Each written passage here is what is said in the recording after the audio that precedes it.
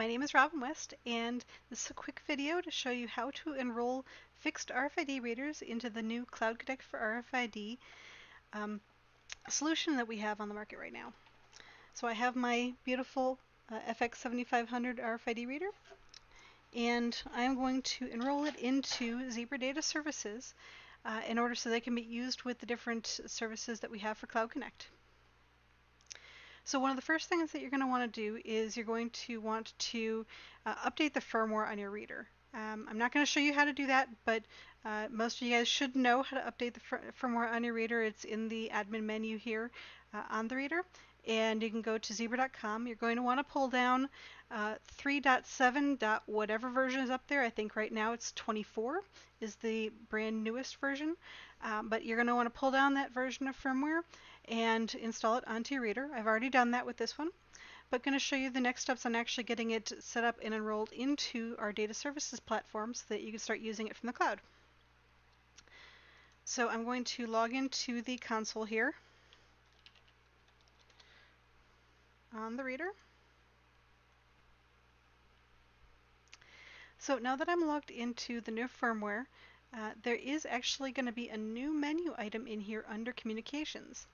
If you notice it says cloud, if you click on that, it gives you a section here. It says your enrollment status is not enrolled and you've got a claim code um, and it's just saying you're not connected. Um, so in order to get this claim code and get yourself enrolled, uh, you have to go to the Zebra Developer Portal. Uh, that's developer.zebra.com.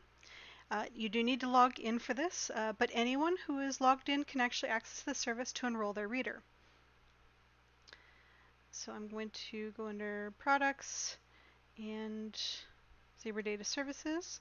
Uh, and under the Zebra Data Services menu, um, there's a new section in here for your devices. You can enroll Zebra printers in here or fixed RFID readers using this using this service. So in here you'll see a some information on what it is, uh, but we're going to go ahead and add a device.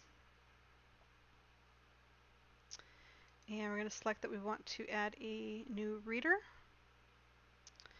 Uh, wait for it to load up, make sure we've got our tenant selected in there and hit claim token. It'll automatically select a tenant for you um, unless you have multiple accounts that you're associated with as a certain partner and you've already worked with us to set that up. Uh, you're probably only going to have one tenant in your list. Um, once you get to here, you'll see a claim code. We're just going to copy that out. Um, it has some directions, but we're going to go through that right now. Um, I'm going to go back in here into the reader paste in our claim code. We do want to make sure AutoConnect is selected and we're going to click Enroll.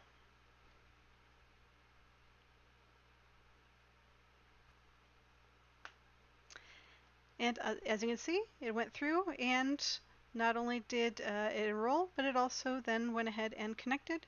You can also see that by checking the log. And you can see in here, cloud connection, cloud connected. Uh, and you're all good set up in there. Uh, we can also go back to the portal, hit enrollment complete on here.